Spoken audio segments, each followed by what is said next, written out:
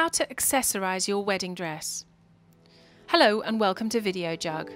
Once you've chosen your wedding dress, the fun begins. We've come to Arvella Bridal in Hampshire to show you how to accessorise. Step 1. Don't compete, complement. The first rule of thumb is don't let accessories compete with the dress. Step 2. Choosing a tiara. If it's always been your dream to wear a tiara, then now is your moment. Tiaras come in a variety of colours and shapes, from small ones designed to sit just in front of the veil to large and colourful crowns. An ornate dress is best combined with an understated headpiece, while a simple, classically cut dress can be a great foil for a more flamboyant headpiece or jewelled tiara.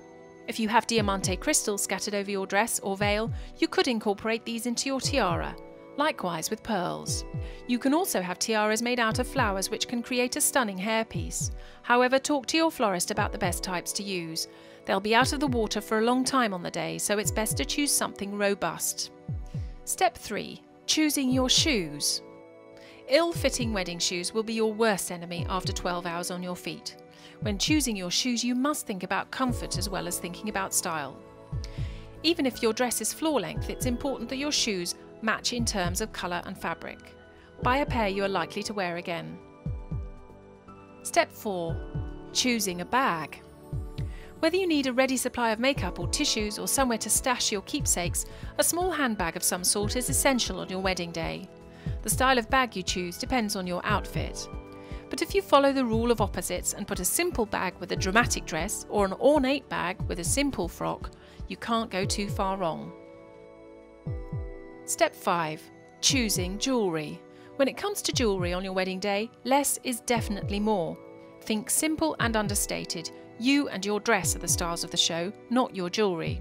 When choosing jewellery for the day, your dress should be your starting point. If your dress sparkles with diamante crystals, some crystal jewellery will help pick them out in the dress. If you're wearing an intricate tiara, keep the rest of your jewellery simple. For example, wear studs in your ears rather than big dangly earrings. And remember, wearing a piece of jewellery that has been passed down through the family or offered up by a friend can often be your something borrowed.